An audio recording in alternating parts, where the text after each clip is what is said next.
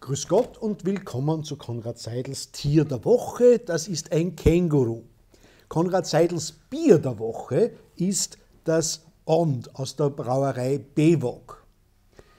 Tier der Woche habe ich deswegen gewählt, weil wir das Bier der Woche immer aus dem Känguru-Pub bringen. Und das Ond habe ich gewählt, weil es ein ganz neues Bier aus einer ganz neuen Brauerei in Bad Radkersburg ist.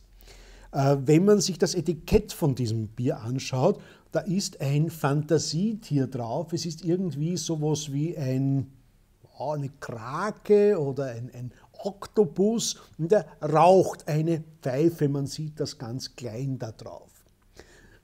Das ist ein Hinweis, dass es sich hier um ein Rauchbier handelt, allerdings um ein ganz besonderes. Es ist ein Smoked Porter, also ein Porterbier mit Rauchmalz gebraut.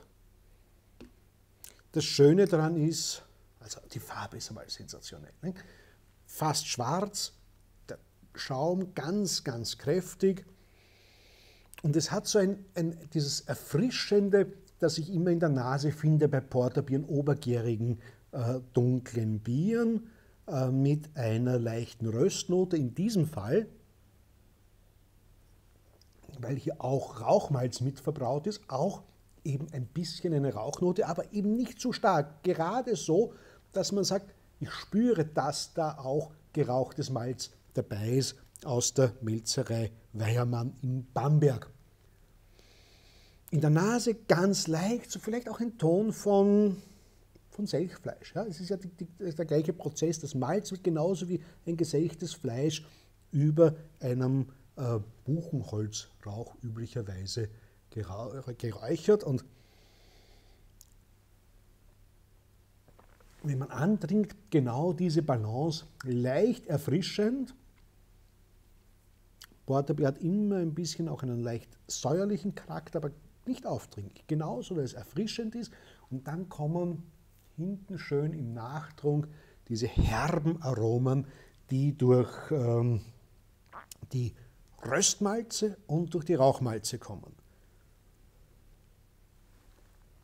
Was wünscht man sich dazu? Natürlich, das ist genau das Bier, das wirklich gut funktioniert mit einem schönen Steak, das gut funktioniert mit allen möglichen, auch Rauchfleisch, Speck, Lardo, also alle die, äh, die, die Dinge, die uns äh, fleischigen, fetten Geschmack bringen, aber natürlich könnte das auch gut mit einer Schokolade gehen.